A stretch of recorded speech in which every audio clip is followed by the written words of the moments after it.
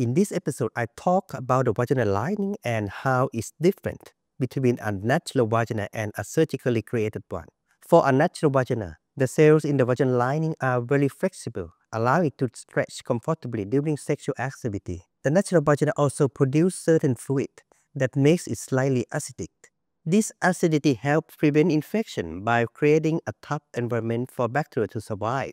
For surgically created vagina or new vagina, it doesn't have this natural acidity. That's because the tissues we use to create it, such as skin, colon, or peritoneum, are not the same as natural vaginal tissues. Vaginoplasty is surgery to create a vagina, and there are three main techniques, skin graft vaginoplasty, which use skin tissue, colon vaginoplasty, which use a part of large intestine, and peritoneum vaginoplasty or PPV, which use a lining of the abdomen. Why there are so many techniques? In medicine, when different methods exist for the same surgery, it doesn't mean each has its pros and cons. If a technique has no advantages, it wouldn't still be used. Don't forget to subscribe to our channel to learn more in the upcoming episode. See you next time.